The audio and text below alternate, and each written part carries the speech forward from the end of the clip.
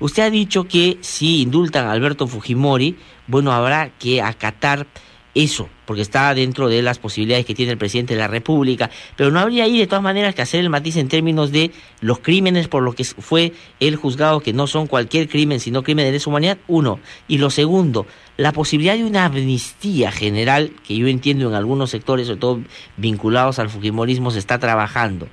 ¿Qué podría significar en un país como el nuestro, donde lo que pasó en las décadas del 90 y antes, pues es un asunto todavía que tiene cuentas pendientes?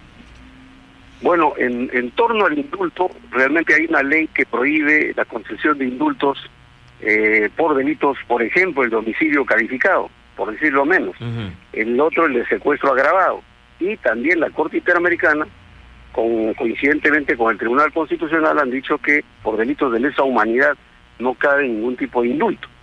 Ahora, en cuanto a la amnistía, ya la Corte Interamericana también se ha pronunciado respecto de este tipo de delitos.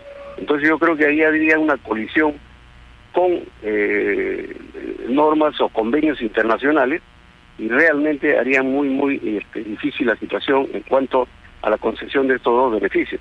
Entonces yo dificulto que se vaya a dar, primero tendría que modificarse las leyes, ¿no? Para permitir un indulto de esa naturaleza.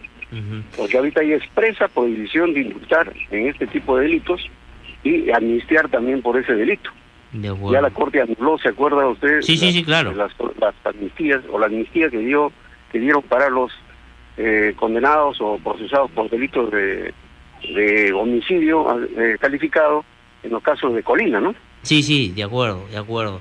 Bueno, doctor José Antonio Peláez Barrales, muchísimas gracias.